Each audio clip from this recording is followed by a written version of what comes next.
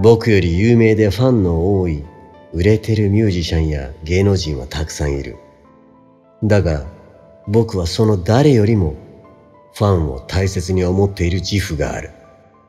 そしてそのファンを大切にすることさえも結果マネタイズにつながってゆく。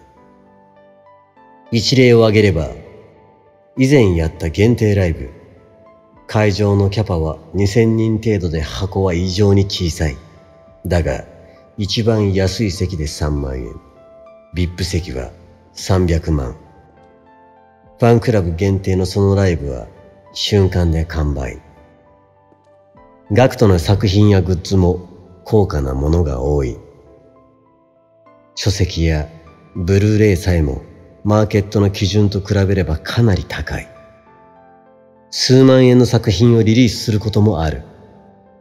課金制の映像ブログもそう。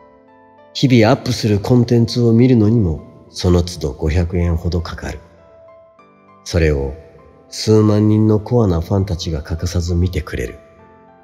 いわゆる普通の音楽シーンに比べれば、ガクトのアウトプットするものが他よりも高い価格なのは自他共に認める事実。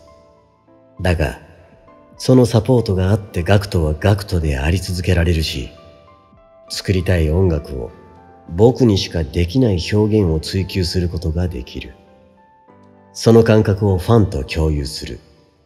だから僕ガクトは、そんなファンを裏切らないように、常にガクトとして向上し、その最高のライブと作品を作り続ける。